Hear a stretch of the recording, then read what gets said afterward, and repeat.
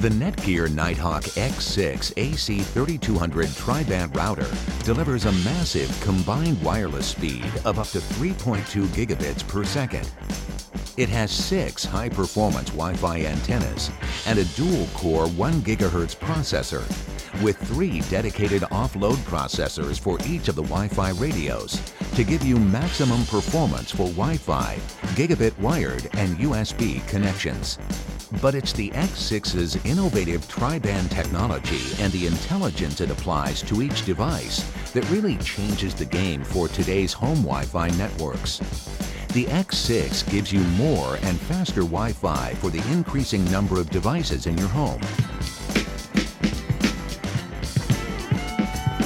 ultimate power, uncompromising speeds, unmatched flexibility. The WRT 3200 ACM is performance perfected. With double the bandwidth to 160 MHz on all spatial streams, the WRT has the fastest 5 GHz band on the market.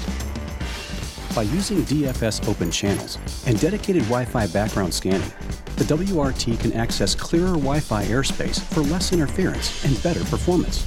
Linksys is a leader in multi-user MIMO technology. The WRT provides a powerful simultaneous streaming experience to multiple devices for blazing fast, uninterrupted Wi-Fi. The WRT is also open source ready, giving you complete flexibility to customize to your specific applications. 1750 megabits per second between the 2.4 and 5 gigahertz bands on the 802.11 AC Wi-Fi standard. The Archer C7 is also IPv6 ready and backwards compatible with 802.11 BG and devices. A few highlights are the gigabit wireless speeds, dual band connectivity, and versatile USB ports. Inside the box, you have a quick installation guide, a general public license, an Ethernet cable, a power adapter, three detachable antennas, and the Archer C7. The Archer C7 offers up to 450 megabits per second on the 2.4 GHz band and up to 1300 megabits per second on the 5 GHz band, which is 2 to 3 times faster than the fastest wireless N router currently available. On the back, you have three RPSMA connectors for the 5 dBi antennas, and since the antennas are detachable, you can upgrade them later in the future should you need more performance. Here are the gigabit LAN and WAN ports, which have an NAT throughput of up to 800 megabits per second. You also have two USB ports, which you can use to set up media sharing, file sharing, printer sharing, and an FTP server. And here you have the WPS button, the Wi-Fi on-off switch, the power button, and the AC power adapter connector.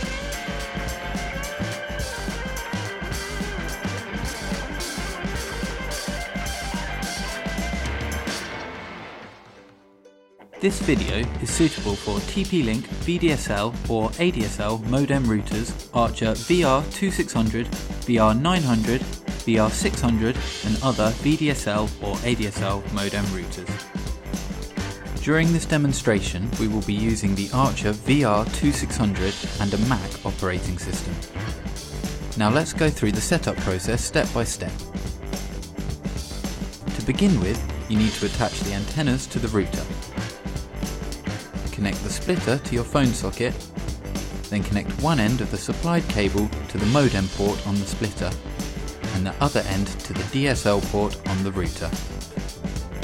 Connect your router to a power supply and press the power button. The power LED will turn white when your hardware is correctly set up.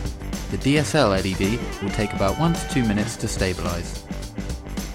If the Wi-Fi lights are off, please press the Wi-Fi button on the side panel for about 2 seconds and check the LED status 5 seconds later. You can set up the router by either a wired router via an Ethernet cable. Make sure your computer is not connected to any other wireless network. Now you can configure the modem router via a web browser.